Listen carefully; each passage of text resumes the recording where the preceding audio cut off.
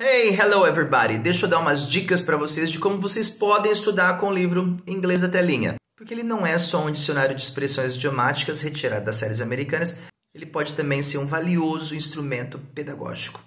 Aqui você tem mais de 800 expressões idiomáticas com no mínimo dois exemplos, tá? Então é bastante conteúdo para bastante tempo.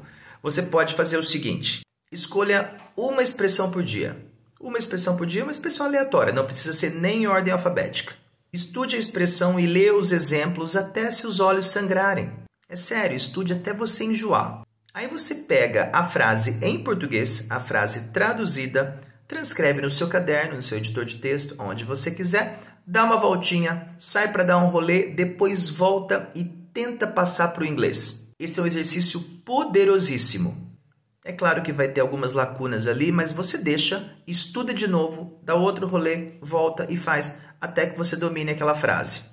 Porque a técnica realmente não é ficar passando por cima, é aprender 100%. Então, uma dica para você aproveitar ao máximo o seu inglês da telinha.